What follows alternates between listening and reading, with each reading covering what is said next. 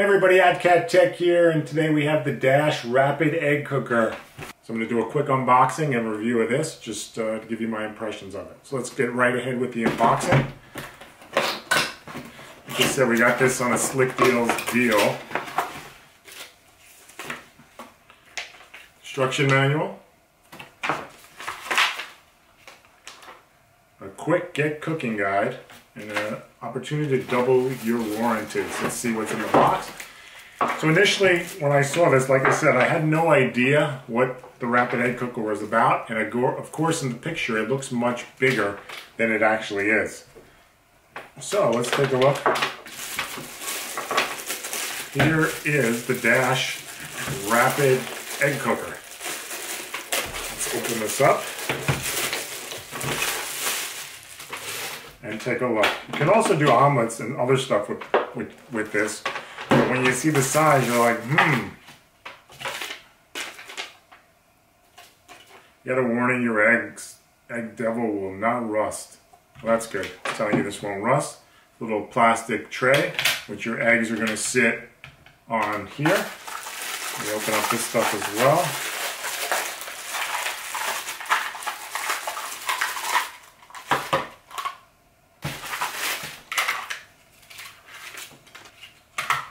And what I think is a little omelet tray. So let's put it through the paces. I honestly have no idea how to use this or how it's going to work, but um, let's put it through its paces. We'll take some video and we'll let you know what we think. So I'm going to do a couple of demos here. We're going to do hard-boiled eggs. I'm going to do the poached eggs. I'm not going to do a video on the omelet probably because it's just not that useful. Um, so to get started with the poached eggs, you're going to take the tray. You're going to insert the little um, pickup tool right in the middle. The great thing about it lets it fold down really easily. Um, you're going to fill, you're going to take the water thing and fill it based on the level you need. Um, one side's for omelets and poached eggs, and then the other side is for uh, soft-boiled eggs, medium-boiled eggs, and hard-boiled eggs. I'm going to fill it with water. We're going to put the water in. The water evaporates, and it's going to um, shut off automatically. You're going to hear that loud buzz. My only main issue with this dash egg cooker is how loud it is, the equivalent loud of almost a uh, smoke detector. So on the bottom of the water tool, there's a little um, pin there so you can actually make a small hole on the bottom of your eggs. When you make soft-boiled or hard-boiled eggs, you're going to want to do that. And we're going to put the eggs in. And I'm going to do this a couple times again. Just take the bottom of the egg into that little needle and you're going to put it right through.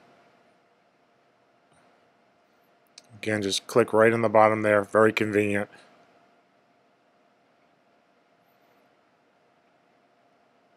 There is a plastic cap. You put the plastic cap on and you're done. Um, so you're not going to prick your finger. I'm going to do, I'm going to put the top on. We're going to plug it in.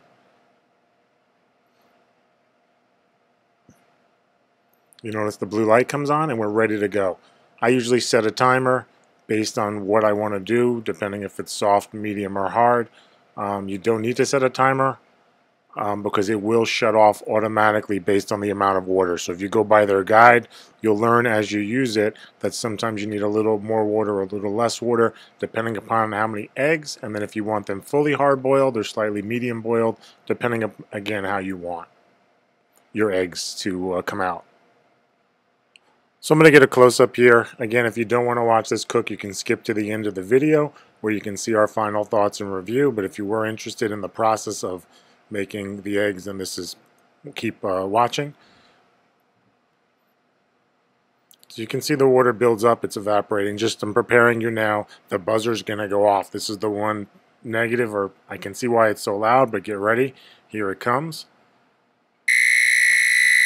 and the buzzer is really loud. So you're going to want to turn it off. At this point, we're going to take the eggs out. I usually put them into ice water to cool them down immediately. And again, depending upon um, how you're cooking them, you're going to want to cool them down quickly so they don't continue to cook. So I'm going to take them out, being careful, of course, because they're going to be hot, um, and immediately put them into some ice water. Nice thing about this is it has the tray, so you can essentially lift up the tray and dump them right into the ice water. So I'm going to do that quickly. I let them sit in the ice water anywhere from uh, 5 to 8 minutes. when you're done, when they've sat for the amount of time you wanted them to stop cooking, you're basically going to take them out, you're going to crack the shell off, and then you're going to basically put them, you can eat them or do whatever you're going to want to do with them at that point. So now I'm going to go over poached eggs. Again, if you don't want to watch this, just skip to the review portion of the video. Um, I used to have a tray that went in the microwave, and this is really the main reason I got the Dash Rapid Egg Cooker.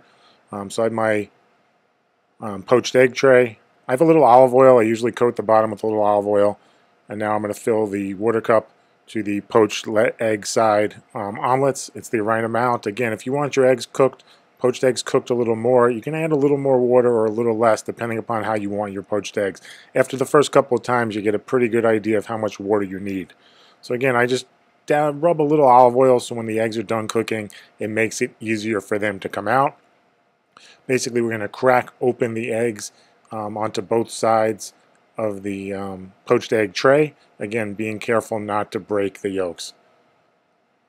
I'm going to do this quickly and carefully. There's one egg. I'm going to go to the other side. I'm going to crack one more egg. Again, be careful not to break the yolk. Again, I used to have a tray for the microwave, and this is a much easier way, and they come out a lot better, um, I feel, this way. Put them over some toast and on an English muffin, however you like. Again, we're going to plug it in, turn it on, and again, it's going to heat up, and based on the amount of water you use, when it evaporates, it's going to be done and that loud buzzer will go off. Um, so I'm just going to let it fog up a few and then to save you the trouble of watching this cook, um, I'm going to get a close-up and then I'm going to speed forward. You can see the water starting to build up that's evaporating and get ready, the buzzer's about to go off. And there it is. Man, that buzzer is loud and it's really going to drive my son crazy because um, it can really jolt you. So let me open up the top. Again, you're going to want to be careful when you take it out. Obviously, you can see from the steam it's very hot in there.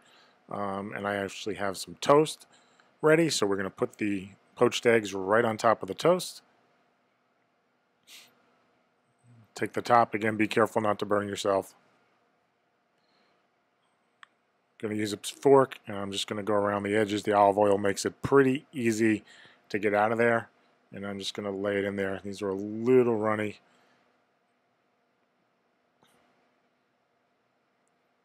Probably used a, should have used a spoon for this, but that's okay. Put the second one there. That's what they look like. And let me just cut into one. You can see how it's oozing out. Again, you can adjust the time how you want to do it. So if you want a more well done or less, you can do that as well. So I'm just going to show you quick how to make the omelet. I'm not going to really delve into it. You take the omelet tray, you could put a little olive oil on it. You're going to fill the water cup to where it is says uh, omelet poached egg side. Again, you can do a little more water or a little less water depending upon how you want it cooked. And again, as I mentioned before, um, you'll actually be able to know as you go after you've used it a few times. You have a pretty good idea of if you like how you like your eggs and how they're cooking. I scrambled up the eggs in advance, so I'm going to put the tray there. On top, I poured the water in. We're going to put the eggs in. The only negative of the egg omelet tray is that it's small. So if you want something with your omelets, it's not really going to cook up in your traditional omelet sense, where you can use this maybe to make uh, an egg sandwich or something like that. I'm going to cover it, plug it in, and turn the um, power on. And we're going to let it go until we hear that loud, annoying beep. And again, I'm going to speed this up for you um, just a little bit so you don't have to watch it cook over time, and we're going to wait for the beep now. Forward in time, um, so get ready for the beep. And there it is. It's annoying and it's loud. But that's it. We're going to take the top off. You can see the eggs uh, puff up a little, um, but it's pretty straightforward and very simple to make an omelet in this as well. I just wanted to give you my quick review of the Dash Rapid Egg Cooker. Been using it now for about three weeks. Um, we really like it. A um, couple of, a lot of positives, one or two negatives. Uh, just to go through the negatives first, the buzzer, when the buzzer goes off, this thing sounds like a smoke detector. It's really, really loud. I can understand why they do it because it is the heating tray. It's going to boil your water on the tray on the bottom. Um, so it's going to be loud because I think they want you to obviously unplug it and turn it off when it's done cooking. but the buzzer is really loud. So that's just something to keep in mind. Um, the other negative, which is not a major negative, they guarantee it will not rust, which is a positive, but the tray does get, the bottom does get a little uh, dirty. You can see this is from three weeks of usage. Um, there are some spots or stains on part. I don't know if you can see that in the video. So again, that is not a major negative. The only other big negative in my part, it is a small, you can do uh, six hard-boiled eggs, two poached eggs with the poached egg tray, which as I showed you in the video. The omelet tray is very small, um, almost to the point where it's totally useless. Um, I made one or two omelets. I was going to show you the omelet making, but the omelets you really can't do cheese. I like to put other things in the omelets, and it doesn't really work out to my liking. I like to cook an omelet, so I'm actually not going to use this at all for making omelets. But for poached eggs and hard-boiled eggs, it works really well. Poached eggs come out great. Takes about six, six and a half minutes or so, again, depending upon how you like your poached eggs. You can add a little more water or a little less water uh, once you start using it to determine if you want the poached eggs cooked more or less. Hard-boiled eggs take anywhere, um, again, you can do one or six eggs at a time. Um, and it'll take anywhere, depending upon if you want to do soft boiled or medium boiled or hard boiled, anywhere from 7 to 16 minutes for the six eggs. Um, so again, that's really my other major negative is just the omelet tray, which is small, but it's a small unit. Again, when I ordered this, I got this on a deal um, from Slick Deals, and I didn't really realize how small it was going to be from the picture. It was a deal, it looked good. I wanted a better way to make poached eggs than just putting the other tray in the microwave and then they just come out okay. Um, so again, for your hard-boiled egg, this piece is going to attach through the bottom. So it's actually a lift-up tray, then it's going to sit, and then you're going to actually cover it like this. So that's how you're going to make your uh, hard-boiled eggs. Again, you take this off when you want to make poached eggs, or if you want to use the omelet tray. And this sits right on top when you make that. Um, you also get your water cup, which is really useful. So it's going to show you omelet and poached egg water levels. So this is the water that you're going to put in. Again, it's heat, makes its own heat, and this is for the hard-boiled or soft-boiled eggs. Again, as you go, you learn what you like and how much water, if you need a little extra, or a little less to put in. On the bottom of the water, you'll see the pin for when, let me just get my face out of there. You'll see the pin for when you make hard-boiled eggs. See, that's where you puncture the eggs with. It's very convenient, so it's not another piece to lose. I mean, it works out well. Like I said, it puts the water in, it knows when to shut off automatically. It essentially has its own shut off, because again, it's got a sensor that once the water is boiled off, based on the amount of water, it's gonna beep, again, really loud, um, and then it's gonna shut itself off um, at that point. So you don't really have to worry about it, but I, once it goes off, you want to shut it off because it's really annoying. So do I recommend this? Absolutely yes. Not so much for the omelets, but definitely for the poached eggs and the hard-boiled eggs. It makes both really well, and it's very simple. Again, positive or negative, depending, is how small it is, so you can actually put everything in the tray. Everything fits in nicely. So when you want to store it away, you just do the top and everything can store away inside. Just put it in your cabinets. When you're ready to take it out, everything is here, which works out really well. They guarantee that it will never rust, like I said. Um, so definitely um, a great product. I've been enjoying it. I actually was going to wanted to show you what we used to use in the microwave, but I think my wife has already thrown it out because we've actually gotten really used to this. Again, I wish at times I could make four um, at a time, four poached eggs. Um, but again, not a major issue. So I definitely recommend it.